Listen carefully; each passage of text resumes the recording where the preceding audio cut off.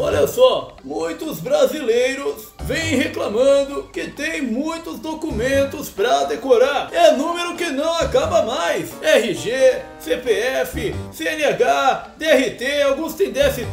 Por isso, meu novo projeto de lei agora é de que todo cidadão brasileiro terá apenas um só documento, chamado de cadastro único, ou seja, um documento só que vai servir para tudo, ok? Só que nós estamos revendo o nome, pois nós sabemos como é que são os brasileiros, sempre querem abreviar as coisas. Por exemplo, registro geral, RG, cadastro de pessoa física, CPF, carteira nacional de habilitação, CNH. Agora, cadastro único, vai sair merda nisso aí, hein?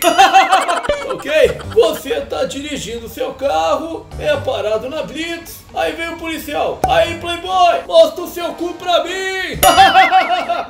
é complicado, tá ok? Agora imagine você entrando na loja, chegando no crediário, quer parcelar sua compra, aí vem um vendedor efeminado e diz: Você pode me dar o seu cu? Você quer comprar uma TV? Você vai ter que dar o cu pro cara! Vai ter que se acostumar a usar o cu, ok? Depois o rapaz volta e diz: Ah, infelizmente o senhor só pode comprar à vista. Aí você, por quê? É que o seu cu tá sujo! Pra fazer nada não. Chega em casa, puto da vida, aí vai ligar lá no Serasa.